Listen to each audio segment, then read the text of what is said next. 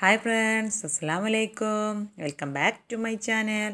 അപ്പോൾ ഇന്നത്തെ നമ്മുടെ റെസിപ്പി ഒന്നര കിലോ വെയിറ്റ് വരുന്ന വളരെ ഈസിയായി ചെയ്തെടുക്കാൻ പറ്റുന്ന ഒരു ടു ടയർ കേക്കിന്റെ റെസിപ്പിയാണ്. അപ്പോൾ അതെങ്ങനെ തയ്യാറാക്കുന്നതെന്ന് നോക്കാം. അപ്പോൾ ആദ്യം ഞാൻ ഇതിലേക്കുള്ള ഡ്രൈ ഇൻഗ്രീഡിയൻസ് റെഡിയാക്കി വെച്ചിട്ടുണ്ട്. ഇതിനായിട്ട് ഞാൻ ഒന്നേകാൽ കപ്പ് മൈദ കാൽ കപ്പ് കൊക്കോ പൗഡർ ഒന്നേകാൽ ടീസ്പൂൺ ബേക്കിംഗ് പൗഡർ മുക്കാൽ ടീസ്പൂൺ ബേക്കിംഗ് സോഡ ഒരു പിഞ്ച് സോൾട്ട് ഇവയെല്ലാം കൂടെ ഒന്ന് സീവ് ചെയ്ത് മാറ്റി വെച്ചിട്ടുണ്ട്.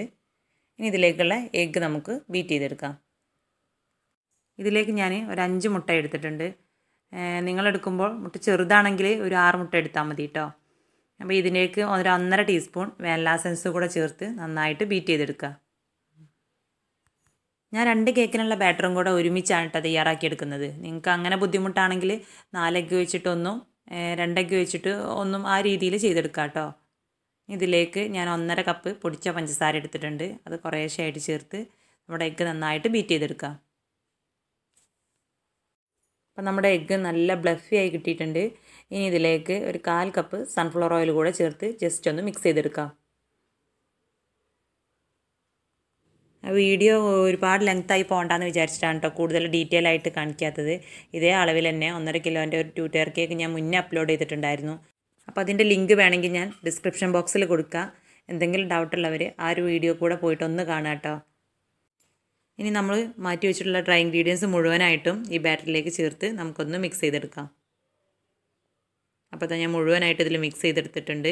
ഇനി ഇതൊരു കേക്ക് ടിന്നിലേക്ക് ഒഴിച്ചു കൊടുക്കാം. ഞാൻ രണ്ട് ടിന്നിലായിട്ടാണ് കേട്ടോ ഒഴിച്ചു കൊടുത്തിട്ടുള്ളത്.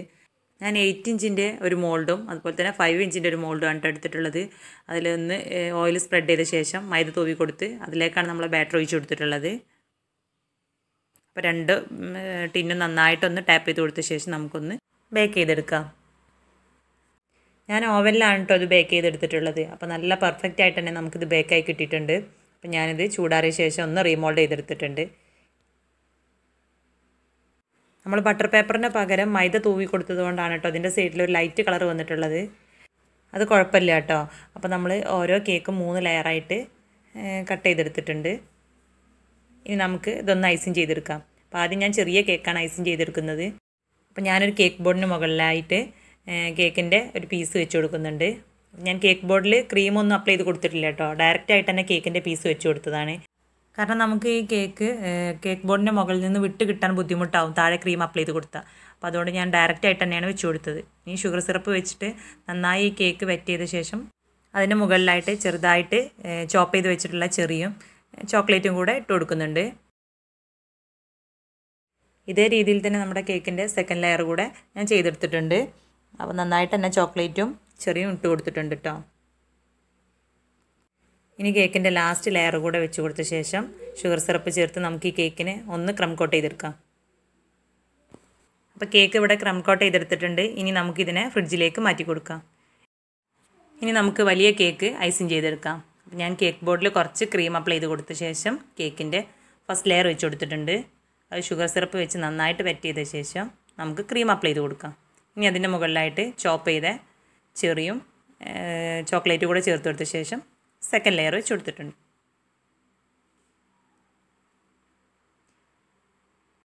സെക്കൻഡ് ലെയറും ഇതേ രീതിയിൽ തന്നെ ക്രീമും ചോക്ലേറ്റും ചെറിയും കൂടെ വെച്ച് റെഡിയാക്കി എടുത്തിട്ടുണ്ട്. ഇനി നമുക്ക് ലാസ്റ്റ് ലെയർ വെച്ച് കൊടുത്ത ശേഷം കേക്കിനെ ക്രം കോട്ട് ചെയ്തെടുക്കാം. അപ്പോൾ നമ്മുടെ വിപ്പിംഗ് ക്രീം നല്ല കറക്റ്റായിട്ട് ബീറ്റ് ചെയ്തെടുത്താലേ നമ്മുടെ കേക്ക് നല്ല പെർഫെക്റ്റ് ആയിട്ട് നമുക്ക് ഐസിങ് ചെയ്തെടുക്കാൻ പറ്റുള്ളൂ. അപ്പോൾ പെർഫെക്റ്റ് ആയിട്ട് വിപ്പിംഗ് ക്രീം ബീറ്റ് ചെയ്തെടുക്കുന്നതിന്റെ വീഡിയോയും ഞാൻ മുന്നേ അപ്ലോഡ് ചെയ്തിട്ടുണ്ട്. അപ്പോൾ അതിന്റെ ലിങ്കും ഞാൻ ഡിസ്ക്രിപ്ഷൻ ബോക്സിൽ കൊടുക്കാം.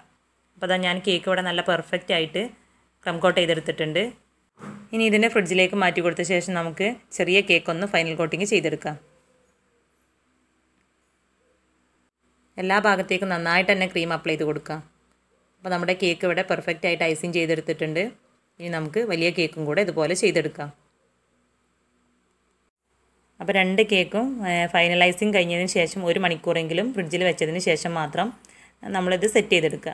അങ്ങനെ ആകുമ്പോൾ നമുക്ക് കേക്ക് നല്ല പെർഫെക്റ്റ് ആയിട്ട് തന്നെ കിട്ടും. നിങ്ങൾക്ക് ഇതുപോലെ ഐസിങ് ചെയ്തെടുക്കാൻ ബുദ്ധിമുട്ടാണെങ്കിൽ നിങ്ങൾ ക്രീം ഒരു പൈപ്പിംഗ് ബാഗിലാക്കി കൊടുത്തതിന് ശേഷം അത് വെച്ചിട്ട് ഐസിങ് ചെയ്തെടുക്കുക. അപ്പോൾ നിങ്ങൾക്ക് പെട്ടെന്ന് ഐസിങ് ചെയ്തെടുക്കാൻ പറ്റും. എല്ലാ ഭാഗത്തും ഒരേ ലെവലിൽ ക്രീം എത്തുകയും ചെയ്യും. ബിഗിനേഴ്സിന് ഏറ്റവും നല്ലത് പൈപ്പിംഗ് ബാഗിലാക്കിയിട്ട് ക്രീം അപ്ലൈ ചെയ്ത് കൊടുക്കുന്നതാണ്. ഇനി ഞാനൊരു സ്ക്രാപ്പർ യൂസ് ചെയ്ത് ഇതിനെ സ്മൂത്ത് ചെയ്തെടുക്കുന്നുണ്ട്. മുകൾ ഭാഗമൊക്കെ നല്ല ക്ലിയർ ആയിട്ട് തന്നെ ലെവൽ ചെയ്തെടുക്കുന്നുണ്ട്. അപ്പോൾ അതാ നമ്മുടെ കേക്ക് നല്ല പെർഫെക്റ്റ് ആയിട്ട് തന്നെ ഐസിങ് ചെയ്തെടുത്തിട്ടുണ്ട്. അപ്പോൾ നമ്മുടെ രണ്ട് കേക്കും പെർഫെക്റ്റ് ആയിട്ട് കിട്ടിയിട്ടുണ്ട്. ഇനി ഇതിനെ ഒരു മണിക്കൂർ നമുക്ക് ഫ്രിഡ്ജിൽ വെച്ച് കൊടുക്കാം. അപ്പോൾ നമ്മുടെ കേക്ക് ഒരു മണിക്കൂറിന് ശേഷം ഞാൻ പുറത്തെടുത്തിട്ടുണ്ട്. ഇനി ഇതൊരു ഇതിലെ ചെറിയ കേക്ക് നമുക്ക് സ്പാച്ചില യൂസ് ചെയ്തിട്ട് മെല്ലെ ഒന്ന് പൊക്കിയെടുത്ത് വലിയ കേക്കിന് മുകളിലായിട്ട് വെച്ച് കൊടുക്കാം. സെന്റർ കറക്റ്റ് ചെയ്തിട്ടൊന്ന് വെച്ച് കൊടുക്കണം കേട്ടോ. അപ്പോൾ ഇനി അങ്ങനെ ചെയ്തെടുക്കാൻ ബുദ്ധിമുട്ടുള്ളവർ ഈ കേക്ക് ടീന് വെച്ചിട്ട് മുകളിൽ ഒന്ന് റൗണ്ട് മാർക്ക് ചെയ്ത് കൊടുത്ത ശേഷം മാത്രം ചെറിയ കേക്ക് അതിന് മുകളിലായിട്ട് വെച്ച് കൊടുക്കുക. നമ്മൾ പുറത്തേക്കൊക്കെയാണ് കേക്ക് ചെയ്ത് കൊടുക്കുന്നതെങ്കിൽ ഇതിന്റെ സെന്ററിലായിട്ട് നമുക്ക് ഒരു സ്റ്റിക്ക് വെച്ച് കൊടുക്കണം. ഇല്ലാന്നുണ്ടെങ്കിൽ നമ്മുടെ കേക്ക് ഇതിന്റെ മുകളിൽ നിന്ന് വീണു പോകാനൊക്കെ ചാൻസ് ഉണ്ട്. അപ്പോൾ ഞാൻ വീട്ടിൽ തന്നെ ചെയ്തെടുക്കുന്നതുകൊണ്ടാണ് സ്റ്റിക്കൊന്നും വെച്ച് കൊടുക്കാഞ്ഞത്. അടുത്തതായിട്ട് ഞാൻ ഇതിന്റെ മുകളിൽ ചോക്ലേറ്റ് ഗനാഷ് ഒഴിച്ചു കൊടുക്കുന്നുണ്ട്. അപ്പോൾ ഞാനിത് കാൽ കപ്പ് ഡാർക്ക് ചോക്ലേറ്റിലേക്ക് കാൽ കപ്പ് വിപ്പിംഗ് ക്രീം ആഡ് ചെയ്ത് കൊടുത്ത ശേഷം ഒന്ന് ഡബിൾ ബോയിൽ ചെയ്ത് മെൽറ്റ് ചെയ്തെടുത്തതാണ് കേട്ടോ. അപ്പോൾ നമ്മുടെ ചോക്ലേറ്റ് ഗനാഷ് ഈ കേക്കിന്റെ മുകൾ ഭാഗത്ത് മുഴുവനായിട്ട് എത്തുന്ന രീതിയിൽ നമുക്ക് അപ്ലൈ ചെയ്ത് കൊടുക്കാം. ഇളം ചൂടോട് കൂടെ തന്നെ നമ്മൾ ഇതിന്റെ മുകളിൽ ഒഴിച്ചു കൊടുക്കണം കേട്ടോ. അല്ലെങ്കിൽ നമ്മുടെ ചോക്ലേറ്റ് തിക്കായി പോയാൽ നമുക്ക് ഡ്രിപ്പ് ചെയ്തെടുക്കാൻ ബുദ്ധിമുട്ടാണ്. അപ്പോൾ ആ ചൂടോ ഇളം ചൂടിൽ തന്നെ നമ്മൾ ഒഴിച്ചു കൊടുക്കുക. കേക്കിന്റെ മുകൾ ഭാഗത്ത് മുഴുവനായിട്ടും ചോക്ലേറ്റ് ഗനാശ് ഒഴിച്ചു കൊടുത്ത ശേഷം ഇതിന്റെ സൈഡിലൂടെ ഒന്ന് ഡ്രിപ്പ് ചെയ്ത് കൊടുക്കാം. അപ്പോൾ നമ്മുടെ കേക്ക് കാണാൻ നല്ലൊരു ഭംഗി ഉണ്ടാവുള്ളൂ. അപ്പോൾ നമ്മുടെ ഫസ്റ്റ് കേക്കിന്റെ സൈഡിലൂടെ ആയിട്ടും ഞാൻ ഈ ചോക്ലേറ്റ് ഗനാശ് ഡ്രിപ്പ് ചെയ്ത് കൊടുത്തിട്ടുണ്ട്. അപ്പോൾ ഞാനിതിന്റെ സൈഡിൽ മുകളിലായിട്ട് മൂന്ന് റോസ് ഫ്ലവർ വീതം വെച്ച് കൊടുത്തിട്ടുണ്ട്. ഫ്ലവർ ചെയ്തെടുക്കുന്നതിന്റെ വീഡിയോ ഞാൻ എടുക്കാൻ വിട്ടുപോയി. അപ്പം നെക്സ്റ്റ് ടൈം ചെയ്യുമ്പോൾ ഞാനത് കാണിക്കാം കേട്ടോ ഞാനിതിന്റെ മുകളിലായിട്ട് ഒന്ന് ഫോണ്ടനിൽ പേര് എഴുതി കൊടുത്തിട്ടുണ്ട്. അത് ജസ്റ്റ് ഇതിന്റെ മുകളിലായിട്ട് വെച്ച് കൊടുത്തിട്ടുണ്ട്. ഇനി കേക്കിന്റെ മുകളിലായിട്ട് ഹാപ്പി ബർത്ത്ഡേ എന്നുള്ള ഒരു കേക്ക് ടോപ്പറും കുറച്ച് സിൽവർ ബോൾ കൂടെ ആഡ് ചെയ്ത് കൊടുത്തിട്ടുണ്ട് കേട്ടോ. അപ്പോൾ ഈ വീഡിയോ എല്ലാവർക്കും ഇഷ്ടപ്പെട്ടിട്ടുണ്ടാവുമെന്ന് വിചാരിക്കുന്നു. വീഡിയോ ഇഷ്ടപ്പെട്ടാൽ ലൈക്ക് ചെയ്യുക ഷെയർ ചെയ്യുക സബ്സ്ക്രൈബ് ചെയ്യുക. കൂടെ ബെല്ലൈക്കണും കൂടെ ഒന്ന് ഇനാബിൾ ചെയ്യുക. എങ്കിലേ ഞാനിടുന്ന വീഡിയോ നിങ്ങൾക്ക് നോട്ടിഫിക്കേഷനായിട്ട് ലഭിക്കുകയുള്ളൂ. അപ്പോൾ അടുത്ത പുതിയൊരു വീഡിയോയിൽ കാണാം. Okay thank